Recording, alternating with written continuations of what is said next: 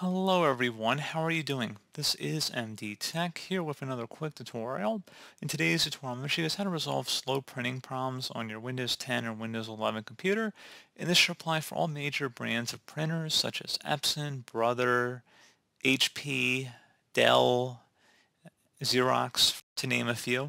The first thing I recommend considering is if you are using your printer and you've modified the settings, like if you have silent mode enabled, it might make the printer take longer to print because it has to, you know, move slower. That's one thing to consider. As well as if you've been really using your printer a lot that day, printers can overheat. You know, printers are not very expensive machines and they can wear out very easily. So it's certainly possible it's being overused or overheated. So that's, you know, something to consider. Possibly you might just have a really low-end printer. So that's one thing you definitely want to take a look at looking into a couple other things we can try here as well if we open up the search menu and type in printers. Best match, come back with printers and scanners. Go ahead and open that up. You want to select the printer you're having the problem with. And you want to select run the troubleshooter. And then hopefully be able to identify the problem from here.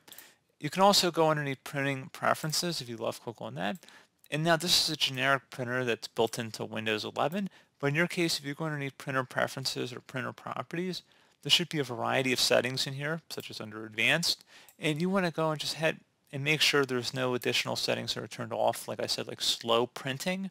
That's certainly a way that your printer is going to be printing slower. And like nighttime printing or maybe higher quality printing settings that could all have impacts on the print speed. So again, something to take a look at there.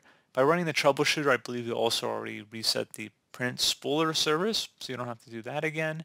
And then that's pretty much it, guys. Not really that much more to go into here.